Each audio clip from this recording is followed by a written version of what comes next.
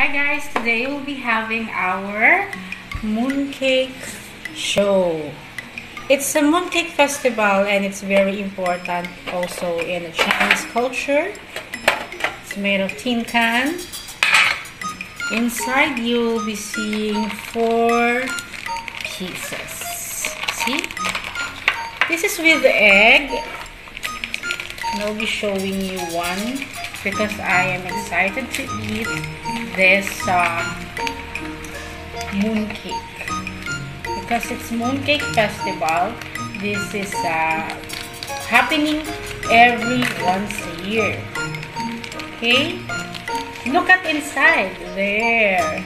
We have this uh, for uh, the protection of the food not to easily get spoiled. So be careful and explain it to your children.